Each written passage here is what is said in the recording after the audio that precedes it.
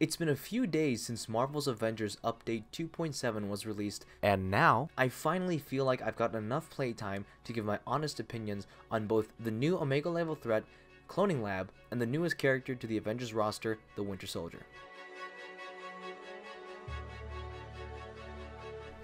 I'll say this, I had a lot more fun playing Cloning Lab for the first time than I thought I would.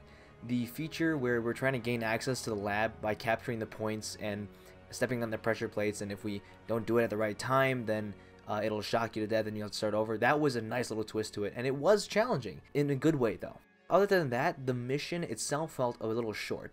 Uh, the previous OLT, Family Reunion, felt almost twice as long as this one, and granted it was a story mission repurposed as an OLT, but if that's the standard for OLTs, we should be getting content at least that same length.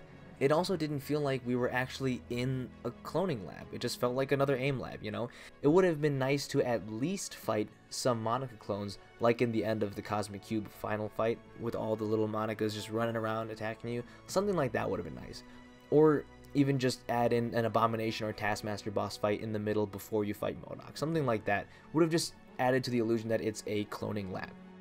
Now, moving on to the actual MODOK battle, it was good. The cutscenes between it felt a little long though, I'm not gonna lie. It felt like it was longer than the actual amount of time it took us to beat MODOK. For my team, it wasn't a super long and hard battle, but it wasn't necessarily a short one either. I have seen some squads take him out really fast though, like under 30 seconds type fast, so keep that in mind. Uh, in terms of gear, I haven't had much time to get my hands on all of it, um, and either way, you're probably better off going to another content creator who actually knows something about gear, because I am not that guy. Honestly, I go to other content creators to do my own gear stuff. But from what I did see of it, it looks pretty solid.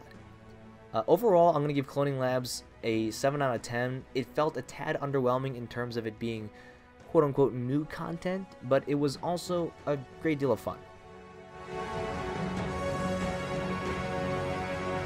Let's start with his story. Like Jane's mission chain, it felt a bit short. From my memory, Spider-Man's mission chain felt longer than both Jane and Bucky's, and I just wish they added a few more story beats. With that said, I did really enjoy what they did with Bucky's character, and the voice acting, as always in this game, was superb. Yeah, but the brainwashing, it... It has two parts. Sure, we destroyed Monica's protocols, but there's also the receiver algorithms, and those receivers are still in my mind. Honestly, I think Bucky's voice actor, Scott Porter, gave us some of the best vocal performances since the Reassemble campaign. And I've never been a huge Winter Widow shipper before, but after this uh, little uh, iconic mission chain, uh, that changed. Let's just say that. His gameplay, though, is actually quite fun. Granted, it is very similar to Cap's gameplay, but I found that his knife combat and his shotgun combo was just plain awesome and fun. And speaking of his gun, I absolutely love the AR they gave him, or? It's not really an AR, but whatever they gave him, the full auto setting is like my favorite thing ever. I just use that all the time. It's so much fun. Like it makes me feel like I'm playing COD, which is definitely a good thing, especially for a character like Bucky, at least in my opinion. For Winter Soldier, I think I'm content with giving him an 8.5 out of 10, but this is overlooking the main issue that many people have with him, which is his similarities to Cap and Widow, and if I were to factor that as a negative for him, I would probably go down to a 7 out of 10. But I didn't really see that as a huge negative because I thought it was varied enough to where it felt new, fresh, and it was enjoyable. Overall, I think this update was fun, a bit refreshing, but still has the same problems that we have come to expect from Marvel's Avengers. It's just not enough. For the entirety of 2.7, I'm going to have to give it a 7 out of 10.